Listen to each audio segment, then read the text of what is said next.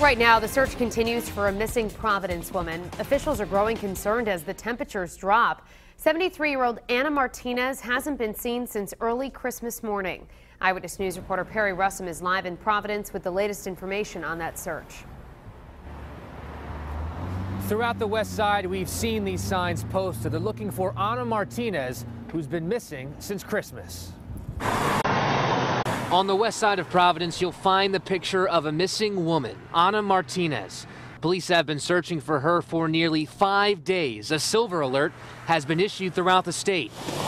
Martinez was last seen at 5 in the morning on Christmas when she walked from her home on Curtis Street in the Olneyville section of the city. Police say she was wearing a white nightgown and a bright green sweater. Martinez is 73 years old, 5 foot 2, and only speaks Spanish. Police say she has a few medical conditions, including dementia.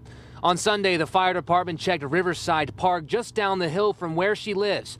The fire department says Martinez has gone missing there before, but she wasn't found this time.